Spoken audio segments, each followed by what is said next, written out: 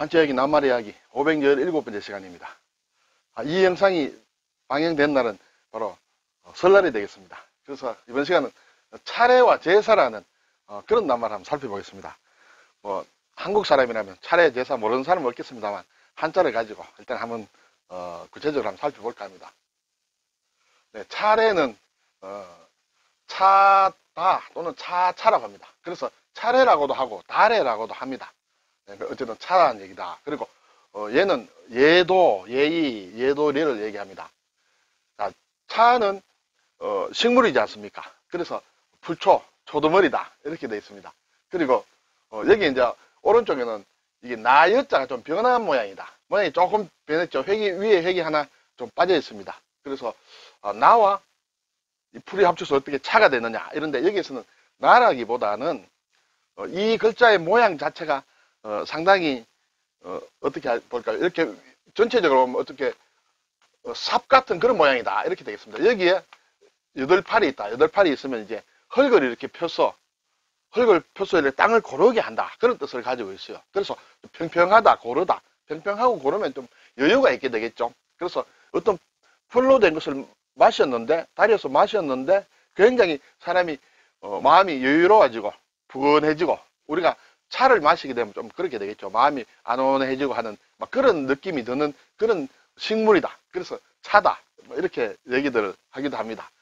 자, 차를 가지고 이제 어떤 예도를 지내는 게 이제 그게 뭐 대사라고 볼 수 있는데 예도례는 역시 어, 신과 관련된 그런 부분이 좀 있겠죠. 그래서 보일시, 보일시는 신에게 제사를 지내는 제사상의 모양이다. 이렇게 보게 되면 신과 관련된 것이다. 그리고 여기 풍성할 풍이라는 글자가 있어요. 이것은 뭔가 신에게 제사를 지낼 때는 재물을 좀 많이 풍성하게 주는 게 좋겠다. 뭐 이렇게 생각하는지 모르겠습니다. 그래서 이 레는 글자를 뜯어보면 어, 오른쪽에 있는 부분이 이제 이 풍성할 풍이다. 풍성할 풍이라는 것은 이 풍년풍자의 속자로 쓰입니다. 뭐 같은 글자입니다. 풍년을 할 때 이렇게 속자로 써도 되고 뭐 정자로 써도 된다. 이렇게 되겠습니다. 근데 이 풍년풍은 잘 보면 예쁠봉이라는 글자예요. 예쁠봉은 벼 이삭이 이렇게 길게 나 있는 모양이다. 공문을 얘기하겠죠. 그리고 가운데 보면 산이 있죠. 산, 산이 있습니다. 여기에 곡물을 산처럼 쌓았다. 어디에 쌓았느냐? 콩두자에 쌓았다. 여기 콩은 콩을 얘기하는 것이 아니라 제기를 얘기하죠. 제사를 진데 쓰는 그릇이다. 그 그릇 위에 이렇게 곡물을 풍성하게 쌓아 놓은 것이다. 그래서 어, 풍년이다. 풍성하다는 뜻이고 그것을 신에게 제사를 지낼 때는 곡물을 많이 가지고 이렇게 하는 것이 예의다. 아마 이렇게 생각들을 한 모양입니다. 그래서 이제 차례다, 차례 또는 달래라고도 한다 이렇게 했죠.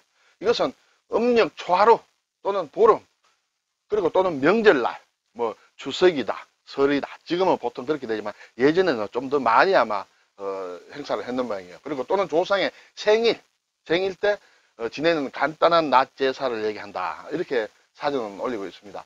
그런데 이 차례라는 말 자체를 보면 차를 올리는 예다. 글쎄요. 예전에는 차를 가지고 이런 때 어, 제사를 어, 어, 모셨다. 이렇게 볼 수도 있는지 모르겠습니다. 보통 보면 이제 술을 많이 올리죠. 네.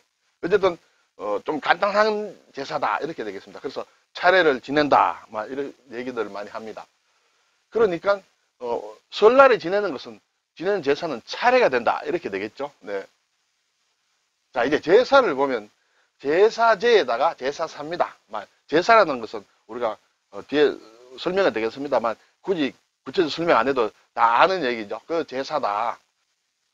자, 제사제는 좀 복잡하지만은 자세히 뜯어보면 육다로에 또 위에 보일시다. 보일시는 제사상이라고 얘기했습니다. 상 위에 고기를 고기 고기입니다. 고기를 손으로 잡는다. 또 우자가 요 부분이 좀 생략이 됐죠. 그래서 어, 고기를 손으로 제사상에 올리는 모양이다. 그것이 제사다. 이렇게 되겠습니다.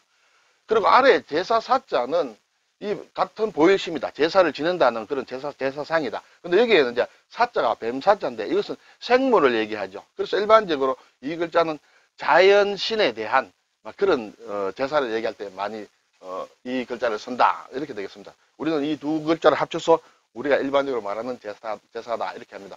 사전을 보니 신령이나 죽은 사람의 늑색에 음식을 바쳐 정성을 나타내는 것 또는 그런 의식을 제사라고 한다. 이렇게 되겠죠. 그런데 일반적으로 제사는 기제사를 얘기하죠. 기는 이렇게 이제 기일이다. 돌아가신 날이다. 그때 지내는 것이 어, 기제사 또는 제사라고 한다. 이렇게 되겠죠. 아, 단순히 기제라고도 합니다. 그래서 명절날 지내는 앞에서 얘기한 차례와 기일에 지내는 제사는 어, 엄격하게 하면 좀 다를 수 있다. 이렇게 되겠습니다. 그런데 우리가 쓰는 낱말의 용법으로 보면 이 제사에라는 것이 어, 차례보다는 좀 범위가 넓, 넓다 이렇게 볼 수 있겠죠. 차례는 제사 안에 들어가지만은 제사를 어, 기제사를 기제사를 차례라고 하면 안 되겠죠. 그렇죠? 어, 차례를 지내면서 어, 제사 지낸다고는 할 수 있지만은 차례 이 제사를 지내면서 차례다 기제사를 지내면서 차례 지낸다 하는, 하는 것은 어, 낱말 영법상 좀 맞지 않는다 이렇게 되겠습니다.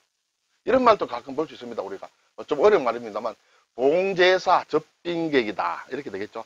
요즘은 좀 덜 하겠습니다만 글쎄 엄격한 뭐 어떤 종갓집이나 이런 데는 아직도 남아 있겠습니다만 제사를 봉한다 받들고 빈객 아, 귀한 손님들을 어, 접대한다 이것이 상당히 중요한 일이었죠. 일, 연중 끊어지지 않는 상당히 어려운 그래서 종부가 되게 되면 굉장히 힘이 들죠. 종갓집의 종부는 늘 봉제사 접빙 계획을 어, 해, 하는 그런 가문들이 많았죠. 그리고 보통 보면 제사는 나 차례는 4대까지만 지낸다 합니다. 이제 5대가 이상 4대가 넘어가면 그 신의를 이제 뭐 땅에 묻는다든지 어떻게 해서 이제 더 이상 제사를 지내지 않는데 불천지위 또는 불천위라고도 하죠. 이러한 경우에는 이렇게 계속 끝까지 제사를 지낸다. 4대가 지나도 지낸다는 것이죠. 나라에 끼친 큰 공훈으로 사당의 영구히 모시기를 나라에서 허락한 신의를 불천지위다. 이렇게 얘기를 하죠. 상당히, 어, 글쎄요. 나라에서 인정했으니까 공이나 덕이, 덕을 많이 산, 막 그런 분을 어, 얘기하고, 유명한 종가에는 이런 불천이가 있죠. 네. 이 제사 제자를 보면 이것과 이 제사제가 들어간 글자가 몇 자 있죠. 사이제다. 사이제는 언덕부자가 들어갔어요. 제사를 지낸다. 예를 들어서 산천에서 제사를 지낸다 할때뭐 언덕 옆에 언덕이 여기서 언덕이라는 것은 어떤 사람은 신이 오르락 내리락 하는 사다리라 뭐 이렇게 얘기를 하는데 어쨌든 제사를 지낼 때는 신이 와서 옆에 같이 접한다. 그래서 사이가 된다. 이렇게 되겠죠. 우리가 국제 나라와 나라의 사이를 얘기합니다. 국제관 이렇게 얘기할 때는 나라와 나라 사이인데 어떤 사이냐? 교제하는 사이다. 이렇게 되겠습니다. 그래서 어, 국가 교제를 줄여서 국제라고 합니다. 우리가 국제라는 말을 많이 쓰지만 국제 제대로 글자대로 따지지 않으면 잘 몰라요. 오히려 영어 international, inter라는 게 있어서 더 잘 통할지 모르지만 이 제자라는 것은 서로 접하고 사귄다. 예, 국가 간의 교제를 국제라고 한다. 이렇게 볼 수 있습니다. 그래서 이 사이에 들어가면 교제란 말 할 때도 이것이 들어가죠. 자, 여기에 이제 진면이 있습니다. 위에 제사제에다가 위에 진면이 있으면 사당으로 볼 수 있습니다. 자, 사당에서 제사를 지낼 때 제대로 제물이 제대로 이렇게 진설이 되어 있느냐 이것을 잘 살펴야 되겠죠. 네, 그래서 살핀다 이렇게 생각하셔도 괜찮을 것 같아요. 그래서 관찰한다 이렇게 되겠습니다. 여기에 이제 자 제방변 손수를 뜻하는 제방이 들어가면 비빈다는 뜻이에요. 이렇게 비빈다. 우리가 마찰을 한다 이럴 때 이제 이 차를 씁니다. 그래서요 잘 살펴보고 뭔가 재물에 좀 이상이 있다든지 재상에 이상이 있다든지 할 때는 그걸 가지고 뭔가 드러낸다든지 손으로 어떻게 해서 비빈다는 뜻인지는 모르겠습니다만 어쨌든 비빌 찰이다. 우리가 찰과상이라고도 하죠. 찰상이라고도 합니다. 뭐 비벼서 생긴 상처를 찰상 또는 찰과상이다.